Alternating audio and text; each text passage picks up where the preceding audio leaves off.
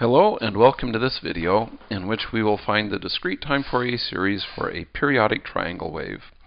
As you can see I've drawn the periodic triangle wave here, at least one period of it. Uh, it's periodic with period n is equal to 12 and our goal is to find the discrete time Fourier series coefficients for it.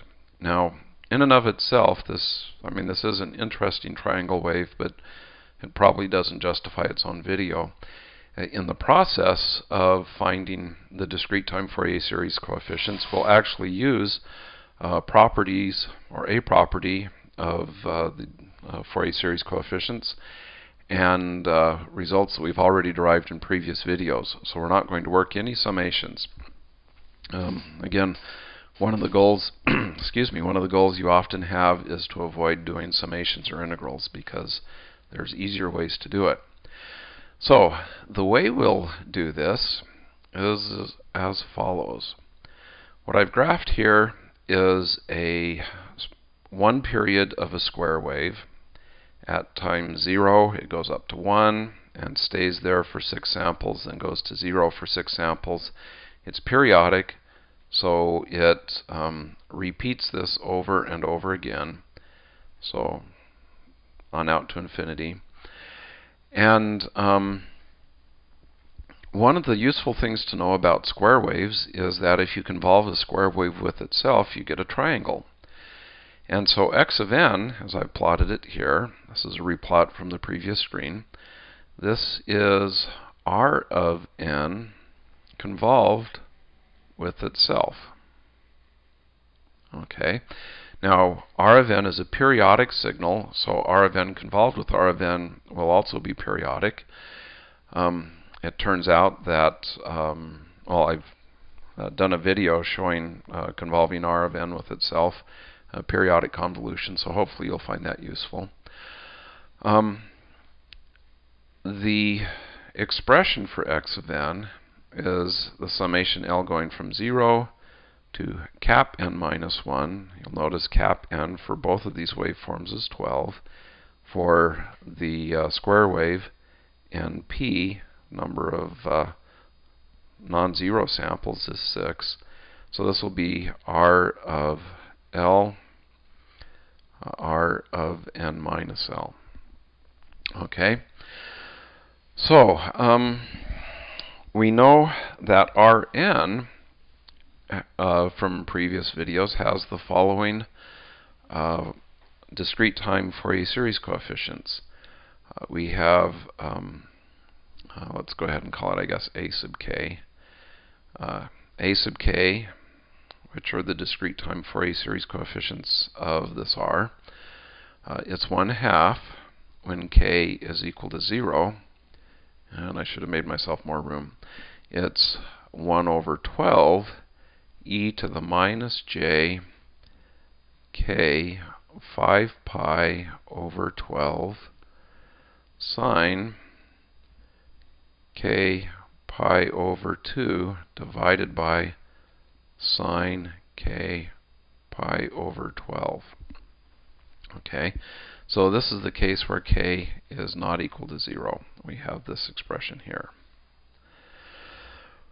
And um, so we, we know the Fourier uh, series coefficients for r of k. We want to get the Fourier series coefficients for x of k.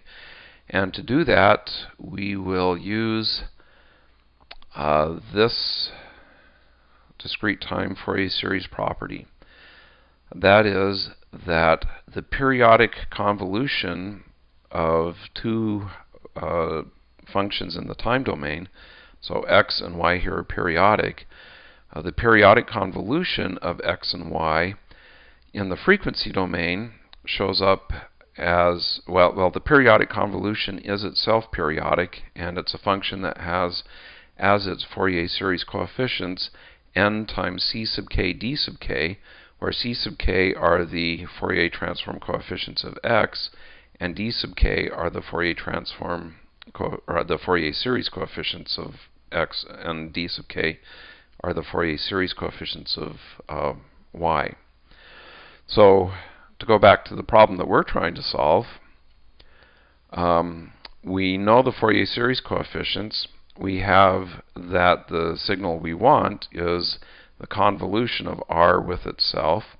So that means that the Fourier series coefficients of x, which I'll call c sub k, these will be n, which is 12, times a sub k times itself. So it's a sub k squared.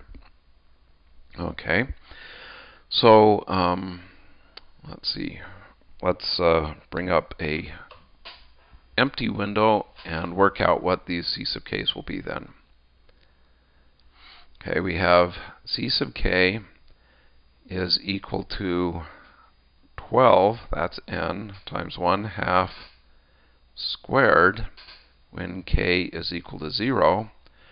And so 12 times 1 half squared is 12 times 1 fourth, which is 3. So our answer here when k is equal to 0 is 3.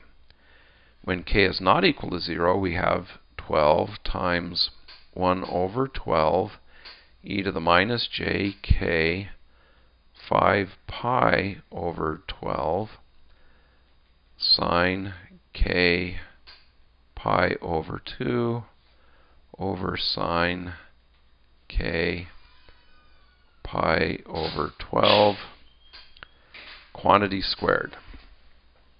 Okay, so when we work this, and this again is for k not equal to 0. So when we work this out, we'll have 1 over 12 squared, but we'll have a 12 out here, so we'll be left with just 1 over 12. We'll have this term, the complex exponential squared, and if I square a complex exponential, then it's equivalent to multiplying the argument by 2. And then I'll have the sine k pi over 2 over sine k pi over 12, we'll have this quantity squared. I don't know of any good simplifications for this. Uh, this guy here, uh, we can cancel a 12 and a 2 and get 6. So this basically then gives us uh, the uh, discrete time Fourier series coefficients. Uh, to summarize, they're 1 over 12 e to the minus j k 5 pi over 6 times the, the sine term squared.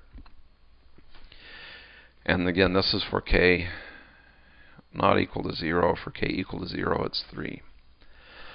Okay, so let's see what this looks like. Um, well, these are the Fourier series coefficients for r.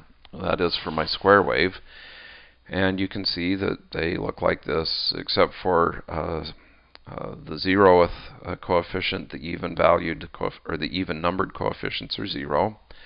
And this is what the phase looks like. When you take this and square it, basically you'll uh, square this magnitude and multiply it by n.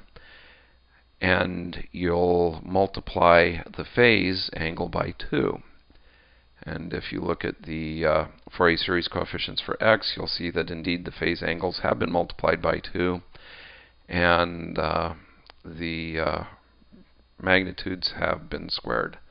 Uh, we get, uh, for these uh, middle coefficients, we get much smaller values for the triangle waveform, which is what x is, than we had for the square waveform, which is what r is. That's because the triangle waveform has is shaped more like a sine wave than um, the uh, square wave is.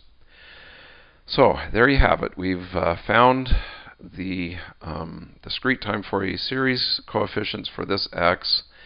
Again, uh, the cool part about this is we've done it without working a summation by noting the fact that this triangle waveform is a rectangular or square wave, a rectangular wave convolved with itself. And in doing so, we've illustrated the convolution property, which says that if two time signals are convolved, their Fourier series coefficients are multiplied. So hopefully you found this helpful, and thank for watch thanks for watching.